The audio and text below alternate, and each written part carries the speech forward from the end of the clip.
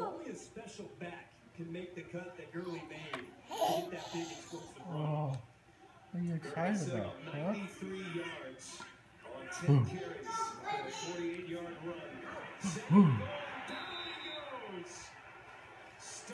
Flying through. and a sack for this Browns defensive line. There's been the first of the day. Now, too many free hitters inside this year for the St. Louis Rams. And that Jamon Brown, the rookie, playing over there at that right guard spot. Randy Starks dominates them. And remember, Brown is moving over to the right side where he started in training camp. He was over on the left side. But when Roger Saffold went down with that injury against Green Bay, they switched him over. You got two rookies on the Did you do it? side of the offensive line. Still Two, give him a one percent towards your closing costs. What's that?